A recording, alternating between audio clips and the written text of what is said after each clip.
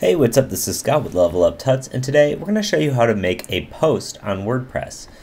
Now, we're using the latest version of WordPress here, so if yours doesn't look exactly like this, don't worry, it's pretty much the exact same. The icons might be a little bit different, and the theme and the admin and the front end might be a little bit different, but the uh, positionings and the exact process and everything should be the exact same. They haven't really changed it that much over the years. So we have our page here, and notice how when I'm logged in, I have this top bar here. Now we can create a new post simply by clicking this new and then post.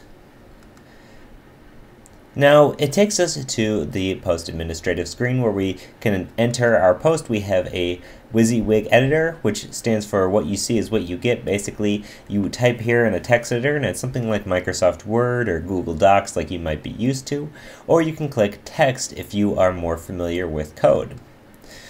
Um, now, we can also get here by in the back end of the site, if we have this open, or even if we have this closed, we can click on posts and then either add new here or add new here. Either way, it's going to take us to the same screen. We can then collapse this menu again to make this editing a little bit bigger. Now, our post needs a title, so we can say our first post. And we want to type some text here, but I don't really have anything I necessarily want to say. So I use this hipster ipsum and it's sort of just like the lorem ipsum. It's just generated text, um, but this one is a little bit funnier because it's, I don't know, hipster text. So it has things like PBR and whatever. Okay, so I have some text here. And it, all that matters is we have some paragraphs here. If you go to text, this tab right here, you'll see it look doesn't look a whole lot different because it's not really code, but you can write code in here. So visual, this is more of a, you know, a word. What you see is what you get. Now we have what type of format we want the post to be. And we have some options. Is an image, a video, an audio, a quote, a link, a gallery, and aside, which is sort of just like side content, or is it a standard post? This is a standard post with text and a title, so we're just going to leave this as the format, and we can minimize this here. Now we have the option of adding some categories, so let's add a new category, and this will be introduction. Okay, and let's add, uh, let's click the add new category button, and let's, um, I'll just add a hipster category as well. So now we have two categories here, and we can even uncheck this if we decide that we don't want to use one of these. Now notice how there's also a most used tab here. Once we start publishing posts, this most used is going to generate of your most used categories, making it nice and easy to find them. Now you can also make something a child category of something else. So if we wanted um, a child category of hello to be a category of introduction, we could do that. However, we don't need that many categories. That seems like maybe something you'd want to use a tag for. Now we can then minimize this just like that, get it out of the way, or you could leave it open and scroll down. And now we can add a tag. So let's just add some tags. So it can be a hello world tag. And then notice how it says separate with commas. So there we go.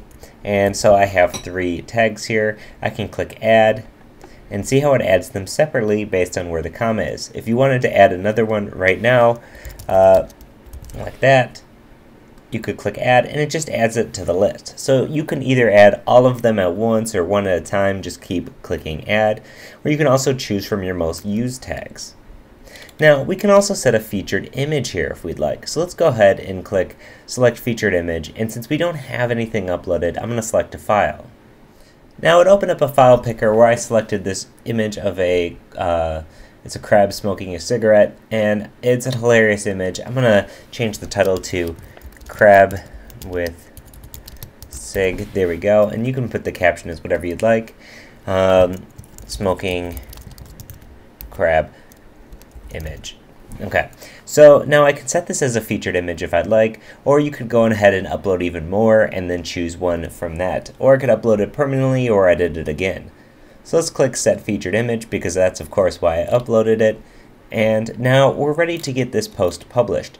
So we can do a couple of things. We could save this and or we could preview it. Now saving this draft just saves it in the system. It doesn't put it on the website. If we were to click save draft like this, it says it's saved. However, if we come to the front end of our website, it's not there. So to actually get the site published, we need to click this publish button. Now we could, if we want to see what it looks like before we click publish, we can always click this preview and we can see that we have this large image and our text here. Now the reason this theme looks like this is because this is this theme. Now I've zoomed in on it in a normal browser size. It's going to look smaller. It'll look something more like this so that image won't be so monstrous. But um, here we have this uh, theme. So basically if you don't like the layout and you don't like the way this looks, you can go ahead and look for other themes. Or if you are familiar with coding, you can go ahead and design your own theme. And that's one of the great things about WordPress is it makes it really easy to get up and going if you don't know the code and you don't know how to do it. But if you do, it's also flexible enough that you can have complete control over it and do what you'd like. Now, Preview Post has just opened this up, and this is still not live. If we are again going to the front of our site and we're to see it, of course it's not live. So we need to click this magic red publish button here, and once it's good, you can see that we have changed it. Now, this publish button is no longer publish, but update. If we want to make a change, we're going to have to click this update button before it's live on the site. If we wanted to unpublish this, we would want to click edit and then select draft or pending review. We could also select visibility to be password protected and or private, or not and or, but or private. So we don't want to do any of that. We're happy with it being published. Let's go to the front end of our site. We can see right there, loud and clear, is our hipster ipsum first post. It has our tags, our categories, hipster and introduction. If we scroll down and see our post, you can see our tags, first post, hello world, hipster ipsum, and introduction. And if we come up here and click on the title, we can actually go to that post's page. And you'll see in here that besides having our information, we can also leave a comment on it.